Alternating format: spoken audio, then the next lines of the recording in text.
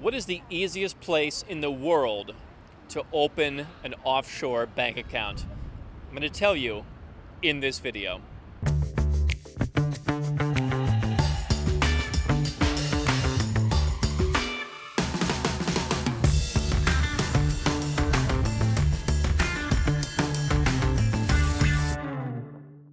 I am Andrew Henderson, and I'm in front of the main branch of TBC Bank here in Tbilisi, Georgia.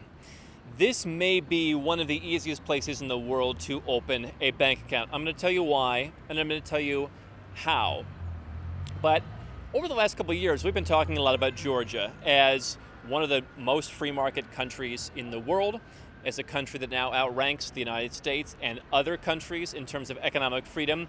And I've become known to a certain extent as the Georgia guy. People come here, they say, oh, you, you must know Andrew. But it's becoming a very popular place to come. It's becoming a, a more and more popular tourist destination. It's just a nice place to come and see what's happening in a part of the world that not a lot of people know that much about.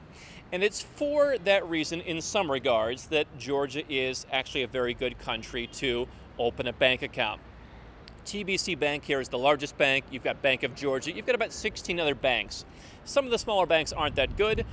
The two largest banks are actually traded on the London Stock Exchange. So you've got a certain amount of stability, even in the absence of any kind of substantial deposit insurance. You've got a country that is not only well managed on a government level, uh, but you have banks and institutions that are well connected. They're part of the global economy. And so, what you need to open a bank account here is basically nothing. You come with your passport. You can open an account with zero dollars and fund it later you need to pay a very small amount to get a debit card or to get insurance on your card. But really, the process is very straightforward. And I think that that's partially because this has not become a banking hub.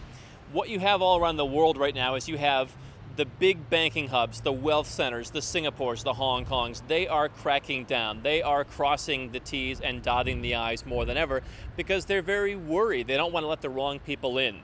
You have the small banking centers, the offshore havens, the Belizes, the Vanuatu's, all of those kind of tiny islands that don't really have a lot of power, that are having tremendous pressure put on them by the big players like the United States.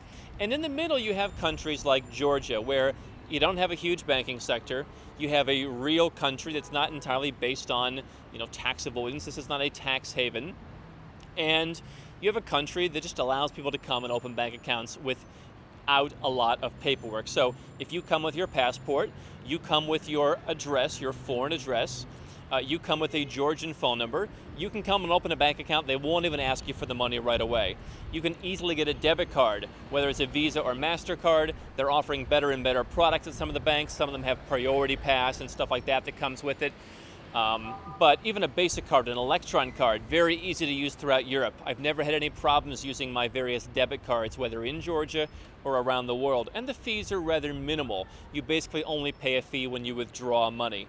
Basically anywhere from a quarter of a percent to 0.6% withdrawal. There's no monthly fees, there's no annual fees. You just pay to get your card, you pay to get any add-ons you want for the account, and then you just pay when you take out money. Very easy. So th there's no remote account opening option here in Georgia. You have to come to the bank. It's a great place to come to Tbilisi. Come, eat the food, drink the wine. I think it's a great place to come and see what's happening for a week. And as part of that week, come and open a bank account. I've not only helped probably 100 people open bank accounts here, but I've had numerous people come up to me around Tbilisi and say, hey Andrew, I read your article about banking in Georgia. I came here because you said to come here, and you're right, it was so incredibly easy. So, you come, you open an account. But once you have that first account, then you can go back, you can get your online banking, pretty good online banking. You get your debit card, you activate your debit card, you do everything to set everything up. And then you can go home, and then if you want to wire in some money later, that's fine. If you want to upgrade your account to the status account, you can do that with generally about $20,000 and you get a private banker. People have told me that's at the same level that Hong Kong used to be, you know, 10 or 20 years ago. They get that personalized service that no longer exists at the $100,000 level in places like Hong Kong, let alone the $20,000 level here. So you can set all that up. But when you leave, let's say you go home and in six months from now you say, you know what? I like the Georgian Lari. I want to have a term deposit for a year in Georgian Lari.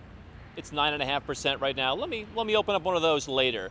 you can move the money into your account remotely and you can go on your internet banking and open up additional accounts, whether it's term deposits, foreign currency deposits in dollars, in euros, in uh, pounds in the local currency, the lari. And you can switch in and out of those things. So it's really an easy account to open and it's an easy account to operate with very good features.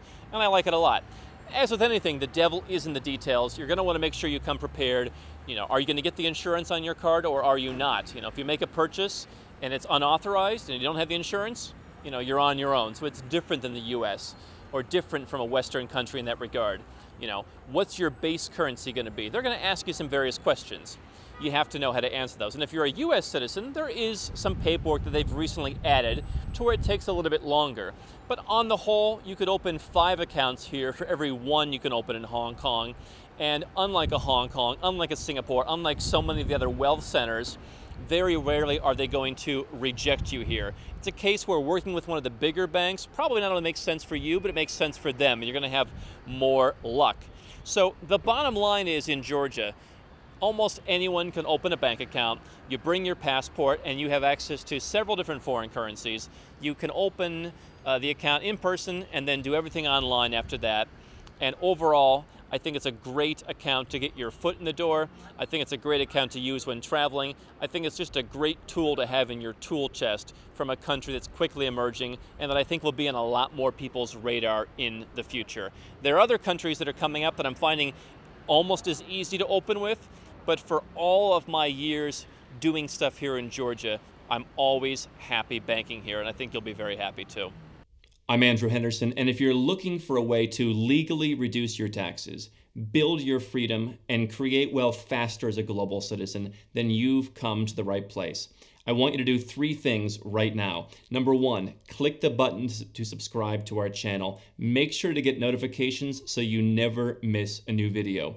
Number two, get a copy of our number one best-selling book, Nomad Capitalist on Amazon and learn all the dozens of benefits of our lifestyle. And number three, if you're already a six or seven figure entrepreneur and you want to put these strategies in place, go to nomadcapitalist.com and find out how to get some help.